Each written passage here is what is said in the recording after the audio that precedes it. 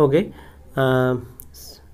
सभी को मालूम होगा कि सी सिलेबस में कुछ डिडक्शन करना चाह रहा है कोविड नाइन्टीन की सिचुएशन के कारण। तो अब भी हमें ये सोचना होगा, हम ऐसे कौन से चैप्टर्स कंप्लीट करें जहाँ पे डिडक्शन होने के चांसेस नहीं हैं। तो डिफ्रेंसिएशन और integration these are the basic part ये आपको पढ़ना ही है। यहाँ पे कोई डिडक्शन अलाउ ही नहीं होगा। एक बार देख लेते हैं, chapter number five six seven eight and nine these are the five chapter combined known as chapter of calculus five and six में डिफ्रेंसिएशन आपको सीखना होता है। सेवन एट नाइन तीनों चैप्टर्स में आप इंटीग्रेशन करते हो। और ये बोल सकते हो these are the basic concept बिना इस कॉन्सेप्ट को पढ़ करके आप हायर क्लासेस में नहीं जा सकते। तो यहाँ से चैप्टर डिडक्शन होना इम्पॉसिबल है। हाँ छोटे मोटे टॉपिक्स हटाए जा सकते हैं। लाइक like कुछ चैप्टर नंबर फाइव में कॉन्टीन्यूटी हटाया जा सकता है। बट हमें वन बाई वन सारा पढ़ना होगा। तो हम आज चैप्टर नंबर फाइव से स्टार्ट करेंगे और आपको मालूम है ये फाइव चैप्टर्स मिल करके आपका more than fifty percent weightage बनाते हैं। पहले भी डिस्कस किया जा चुका है वेटेज तो अभी वेटेज में थोड़ा सा चेंज भी हो सकता है। हम वेट करेंगे, तब तक इसके पहले हम chapter number five six seven eight nine इस सीरियल में पढ़ना स्टार्ट कर देंगे। तो चैप्टर नंबर फाइव अभी कहाँ इंपॉर्टेंट है?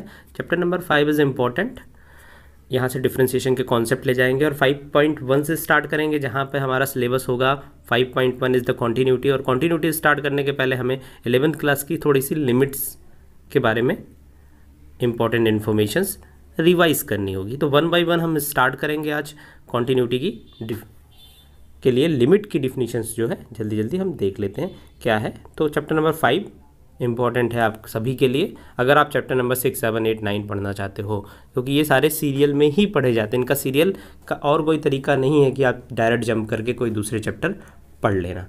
और काफ़ी इंपॉर्टेंट है तो वन बाई वन अभी टाइम भी है तो हमारे पास प्रैक्टिस हम कर लेंगे। कुछ चैप्टर नंबर फाइव स्टार्ट करते हैं। चैप्टर नंबर फाइव का पहला जो टॉपिक है दैट इज़ कॉन्टीन्यूटी और कॉन्टीन्यूटी रिलेट होता है लिमिट से। तो हम आज लिमिट के बेसिक कॉन्सेप्ट देख लेते हैं। लिमिट आपको बताया गया था this is different from the functional value if any function is there and we are not able to find out the value of the function at certain point suppose करो इस point पे हम इस function की value find out नहीं कर पा रहे हैं, और दिस पॉइंट इज़ ए तो यहाँ पे कॉन्सेप्ट आएगा लेफ़्ट हैंड साइड से आप अप्रोच करते हो तो this is L H L known as left hand limit and this is given by limit x standing towards a from left a minus का मतलब है लेफ़्ट से जा रहा है, और ये फ़ंक्शन आपने लगा दिया। तो ये रिप्रेजेंटेशन होती है। वैल्यू ऑफ़ जब आप लेफ़्ट हैंड साइड से अप्रोच करते हो तो value of function is slightly less than x की वैल्यू जो होती है, वो थोड़ा सा कम होगी। लेफ़्ट हैंड साइड में वैल्यूज़ लेस होती हैं। तो यहाँ पे एक ये भी कॉन्सेप्ट आपने पढ़ा होगा f tending toward zero f of a minus h a से थोड़ी सी छोटी होगी तो ए माइनस एच यहाँ पे h tending towards but very close to a a के बहुत क्लोज में हम सारी ऑब्जर्वेशन कर रहे हैं तो इसीलिए वर्ड आता है कि नेबरहुड ऑफ़ ए में हम सारा ऑब्जर्वेशन कर रहे हैं। इन द सिमिलर मैनर अगर आप आर एच एल लेते हो suppose you are going to take R H L तो आर एच एल के लिए भी सेम कॉन्सेप्ट है limit x tending towards a plus f of x ये सिम सिंबल हैं, जब क्वेश्चन आप मैक्सिमम सॉल्व करते हैं तो हम इसी को कन्वर्ट कर देते हैं ए प्लस एच में। यहाँ पे h is very smaller number positive number a plus h किया गया तो स्लाइटली ग्रेटर देन ए तो ये राइट हैंड लिमिट होगी और लेफ़्ट हैंड लिमिट होगी। और आपको बताया गया है कि if L H L and R H L are both are equal then हम बोलते हैं कि लिमिट एग्जिस्ट कर रही है। दोनों में से अगर एक भी इक्वल नहीं हुआ या फिर एक की वैल्यू भी इनफाइनाइट या नॉट डिफाइन आई तो हम बोलते हैं कि हमारा लिमिट एग्जिस्ट नहीं कर रहा। ये तो हो गई लिमिट की वैल्यू अब कॉन्टीन्यूटी और लिमिट में रिलेशंस क्या है? तो आप चैप्टर स्टार्ट करने से पहले लिमिट के कुछ फार्मूले जो आपने एलेवेंथ क्लास में पढ़ रखे हैं, वो बीच बीच में आते रहेंगे। मैं रिवाइज करता रहूँगा। आप फार्मूलों को नोट करोगे। तो स्टार्ट करते हैं continuity what is continuity continuity continuity as the topic is important one suppose यहाँ पे ध्यान रखना मैं एक, कुछ एक पिक्चर स्लाइड कुछ भी ग्राफ ड्रॉ करता चला जा रहा हूँ।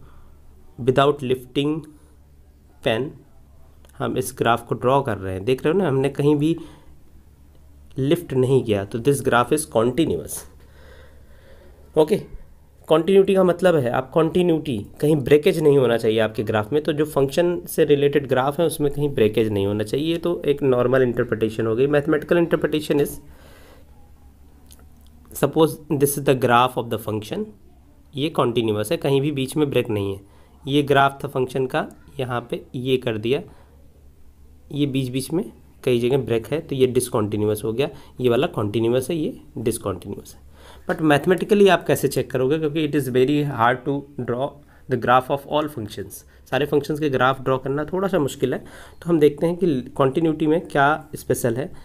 तो continuity of a function at any point is given by suppose इस पॉइंट पे हम फ़ंक्शन की कॉन्टीन्यूटी डिस्कस करना चाहते हैं और ये पॉइंट है एक्स इजिकल टू ए तो यहाँ पे हम कॉन्टीन्यूटी डिस्कस करने के लिए हमारे पास है एल एच एल अभी हमने लेफ़्ट हैंड लिमिट बताया at this point R H L R H L और एल एच एल की वैल्यू अगर value of the function f a क्या होता है? Value of the function at x is equal to a तीनों अगर same हो जाएँ तो हमारा लिमिट क्या होगा? हमारा लिमिट तो एग्जिस्ट करेगा ही, साथ में क्या होगा?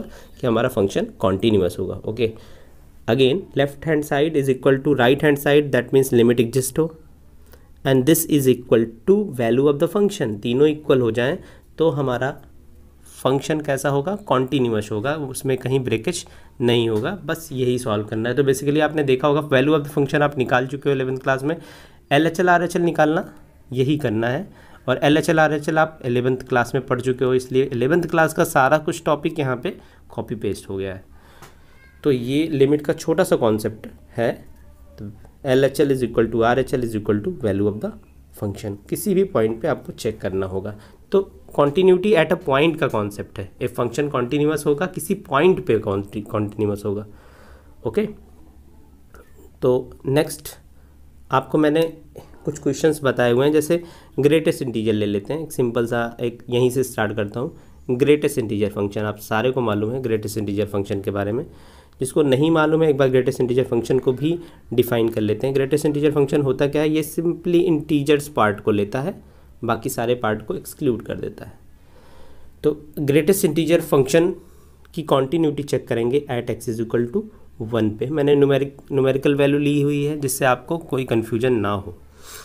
ओके जब आप लेफ़्ट हैंड लिमिट शो करोगे left hand limit at x is equal to one तो limit h tending to zero f of one minus h ये हो जाएगा, ये क्वेश्चन अभी जस्ट हमने डिस्कस भी किया था।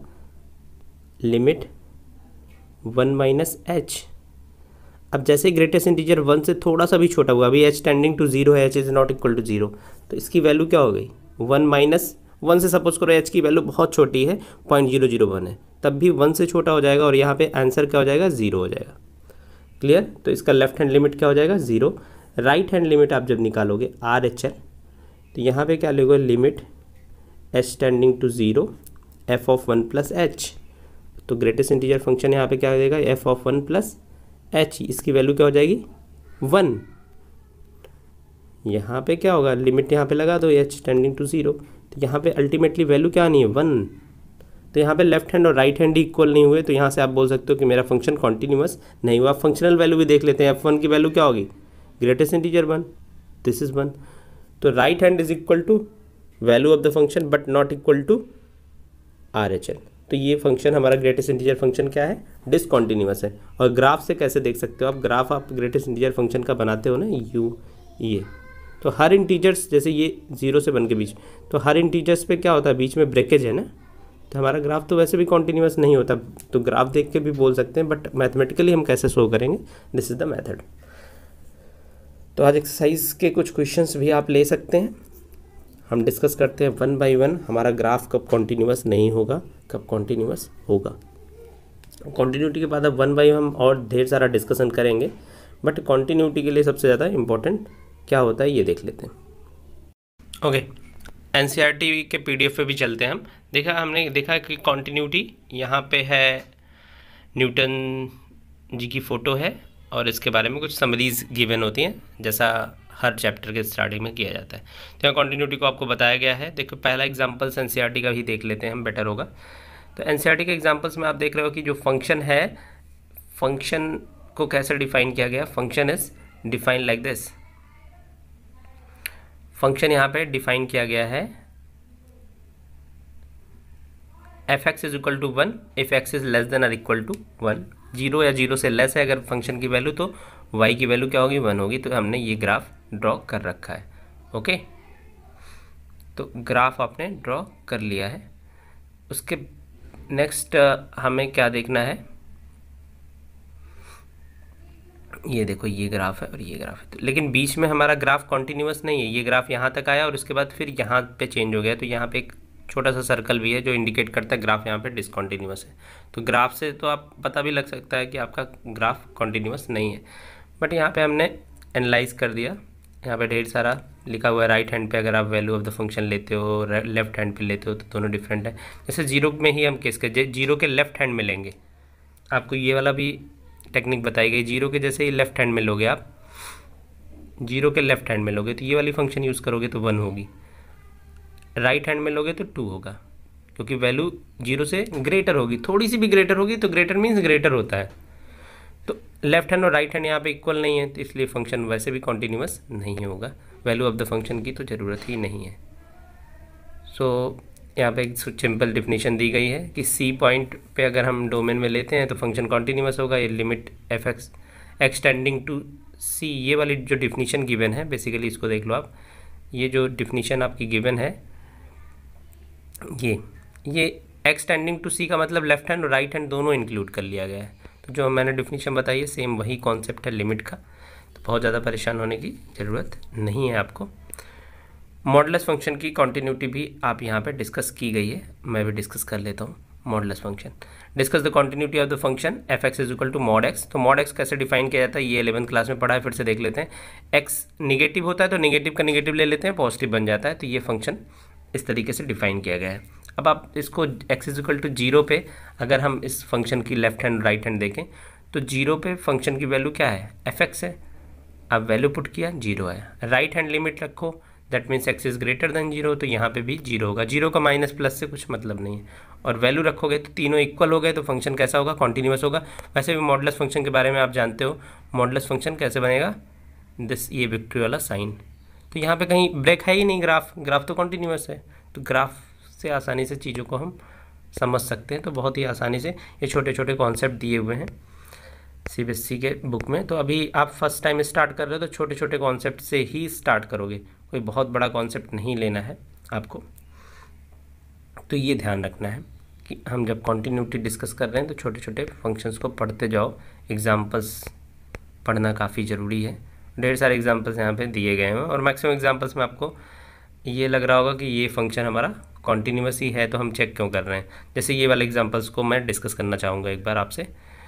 यहाँ पे क्या है? Discuss the continuity of the function okay x is equal to x plus two x minus two अब जैसे वन पे आपने लेफ़्ट हैंड चेक किया, ये ध्यान देखना